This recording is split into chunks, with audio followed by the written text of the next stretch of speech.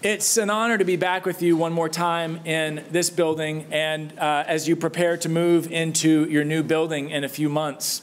As a native Dentonite, it's a joy to see just how much this church has grown in recent years. And I bring you greetings from uh, Nashotah House Theological Seminary up in Wisconsin, from our Dean, Garwood Anderson, and from uh, our new Dean, just announced this week, Lauren Whitnah um, and from uh, a, uh, a, curate who I believe will be coming to you soon, uh, Father Yehoshua Odidi. Uh, there's, there's lots of uh, affection that we have for you in, uh, in Wisconsin, and of course, lots of affection that I, as a, as a Dentonite, have for you. One of my great delights, really, is in visiting you as, as I get to on occasion is I get to be surprised by seeing people I've known from different contexts in Denton gathering here now to worship there are lives in this church being changed and uh, families being raised up in the faith. God is producing fruit here, and God is worthy of all glory for it. Today, I want to look into the words of Jesus, the true vine, and the words from the first epistle of John and ask some specific questions. One, how do we bear fruit? Two, how do we become fruitless? And three, how can we cultivate fruitfulness in our life and in the church? So let's look at how we bear fruit. I've noted evidence of fruitfulness and some numerical growth here that points to fruitfulness in other areas, such as discipleship and changed lives here. There's always a temptation when you look at growth in a church to assign a sort of formula to fruitfulness that you could uh, do it elsewhere or do it in any circumstance.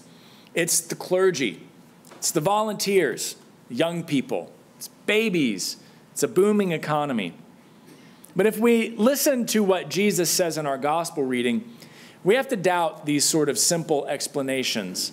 Clergy, volunteers, cultural, economic forces, all of these factors can certainly aid growth. But they do not produce what Jesus would call fruit. Jesus says, just as the branch cannot bear fruit by itself unless it abides in the vine, neither can you unless you abide in me. He goes on, apart from me, you can do nothing. Nothing. St. Paul says to the Corinthians, I planted, Apollos watered, but God causes the growth. God does it. We bear fruit when God is at work in and through us. This is really important to remember because despite how much we may believe that God causes the growth, and we may give God thanks for blessings and give Him the credit for blessings, the fruit we see on the vine, we also have a tendency to look past fruit very quickly and ask questions like, what is the secret to this success that we could ensure that it happens from generation to generation? As if fruit was simply a result of the best methods, smartest leaders, largest budgets. Budgets, programs, and leaders are important. We rightly spend time and effort developing these resources. But make no mistake, growth is not the same thing as fruit. We could all list churches who are large in number and lacking real fruit. And many of us have known times in our spiritual lives where fruit that once seemed to spring up almost without our trying now seems to have dried up. And we don't know how to bring it back. Which leads us to ask why we may become fruitless. This is no light question. Jesus makes it clear that much more is at stake than a cluster of grapes versus a bundle of leaves. He says, My Father is the vine grower. He removes every branch in me that bears no fruit. Whoever does not abide in me is thrown away like a branch and withers. Such branches are gathered, thrown into the fire, and burned. You might be more comfortable with this image than I am, but to hear it makes me wince. Is this a threat from Jesus? You better bear fruit. God's going to cut you off and burn you. Maybe you've heard a sermon like this before. I'm not saying there isn't a time and a place for talking about Jesus, the righteous judge, to whom we all must give an account, who we confess will come with glory to judge the living and the dead, and his kingdom will have no end. True. true. But to take Jesus' judgment as some sort of threat meant to motivate us into fruitfulness misses the point of the teaching entirely. And I believe it's inconsistent with the point Jesus is trying to make here. Perfect love casts out fear, our epistle reading said. First off, Jesus' point here is that he is the true vine, the Father is the vine grower. To hear this in Jesus' day would evoke several images. One, of course, being agricultural. This is just how people live in the Mediterranean.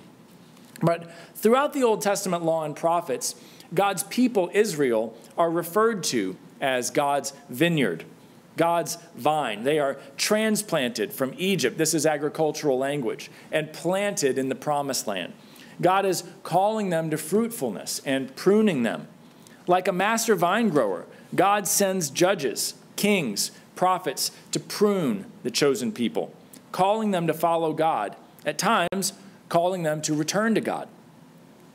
Jesus picks up this image in the parable of the vineyard, not our parable from today, but the one where the people are hired for the same wage despite the number of hours they worked. You get the same payment at the 11th hour as those who bore the heat of the day. In the parable of the wicked tenants, another parable, Jesus talks about those who tend God's vineyard but neglect the vine, despise the landowner, and kill his messengers and his son. These are images that Jesus is using to gather in these Old Testament images of Israel as God's vine. But in our reading today, Jesus turns this imagery on its head entirely. God's people in this passage are not the vine. Jesus himself is the true vine. We don't produce the fruit. God bears the fruit in us if, and only if, we abide in him. Jesus is saying that life, true life, a fruitful life, a life lived in the kingdom Jesus reveals, isn't a life we can get without Him. We're God's creation, yes, and we are very good, but we are not the source of any life. Even in the garden, before the fall, when that very good that God spoke over us was unspoiled, we did not have life springing up from ourselves. God commands make babies, plant trees, grow a garden. And we can say, we continue in those acts today, and good stuff happens. Life happens. But we are not the source of that life. Next to the tree of knowledge of good and evil, there was also a tree of life, and it wasn't our tree. Since we ate the fruit, the garden enclosing the tree of life has been cut off to us. Ever since that day, we have all been longing again for the tree of life. Who wouldn't want? Live without fear, without death, without the experience of decay we feel in our aching joints, in our broken relationship, in, in our hearts. Here's what Jesus is saying He is the tree of life, the true vine. In our epistle reading, John puts it this way God sent his only Son into the world that we might have life through him. That we might have life through him. John makes it clear this is done through the cross, the tree of life. In this is love, not that we loved God, but that he loved us and sent his Son to be the atoning sacrifice for our sins. John's gospel says it this way In him was life, and the life was the light of all people. Jesus says elsewhere in the gospel, I have come that they may have life and have it abundantly. This is what John's gospel is all about a question not about fruit, but about life. So when we're lacking in fruit, we have to ask are we connected to the true vine? Churches must continually return to this question, corporately and individually. If life is found in Christ alone, if apart from me you can do nothing, are we with him? Are we withering and drying up? Or are we full of life, renewed? I sense this in myself when things may be going just fine, but I feel empty, devoid of life. I can go through the motions and perform with the best of them, and good things may happen, but not in me. I feel dead. I feel cut off from real life, even while trying to pour out life and blessing to others. We know this when our con- connection to the vine gets strained or cut. I don't know about you, but in those times when it feels like I'm being pruned, I don't like it. Not a bit. Pruning hurts. Cutting away of things that drain energy but produce no fruit is not easy. The irony is that I get so hungry for life, for significance, so anxious of my own limitations that I don't want to wait for God to bring the fruit. I want to bootstrap it on my own like a good Texan. The problem is that this leaves me cut off from my only source of life and fruit. So, as I close, how do we stay connected to the vine? How do we cultivate fruitfulness in our life together? Jesus sums it up in one word abide. Abide in me as I abide in you. Those who abide in me and I in them bear much fruit. What does it mean, though? What does it mean to abide? How do we do it? It's kind of a funny thing because the word abide really just means remain or dwell. It's what we do in our homes. It's not cooking and eating, cleaning, or watching TV. It's not going to sleep there at night. Guests can do that, and they don't abide. You can go do that at somebody else's house on Airbnb for months at a time if you like, and you don't abide there.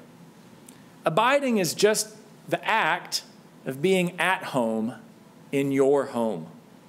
But how do we do that with Jesus? The analogy still isn't totally clear. Simply put, it's living your life in Jesus.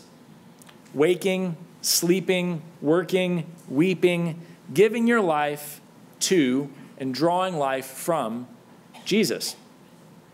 We come home to him in our baptism and in the life of faith that follows, in hearing and receiving his word as our life. Jesus says elsewhere in the gospel, or uh, in our gospel reading, You have already been cleansed by the word that I have spoken to you. Our life from there is lived cultivating that relationship, cultivating that connection. It happens primarily in worship. Coming to, week, uh, coming to Mass weekly is a really great place to start. The daily office of morning, noonday, evening prayer and Compline in the Book of Common Prayer is an excellent place to continue that growth day by day. Or just try reading your Bible and praying a little. Throughout the generations, women and men of faith have recognized that God does something in our worship, in the Eucharist, that changes us, that gives us life. The earliest example of Christian worship we have outside the New Testament, a prayer book of sorts called the Didache. It comes from the late first century, early second century, describes the Eucharist in terms of this life. Listen to what these earliest Christians prayed together when they gathered. We give you thanks, our Father, for the holy vine of David, your servant. Language from our passage today holy vine of David, your servant, which you have made known to us through Jesus, your servant. To you be the glory forever. It continues with words that are reflected in one of the communion hymns in the hymnal. Uh, it begins with God, we thank thee who is planted. It says, As this grain was scattered upon the mountains and then gathered together and became one, so may your church be gathered together from the ends of the earth into your kingdom. The image is this like the grain that is harvested, crushed, mixed, baked into bread that we break in the Eucharist, like the cluster of grapes that are gathered and crushed together and mature into the wine we offer. We in the Eucharist are gathered together and made one, one with each other and one with Jesus, the vine of David, who gives us life. Jesus put it this way in John chapter 6 those who eat my flesh and drink my blood abide in me. There's that word again. They abide in me, and I in them. Just as the living Father sent me, and I live because of the Father, so whoever eats me will live because of me. We pray this in the prayer of humble access, that he may dwell in us and we in him. Same word, dwell, abide.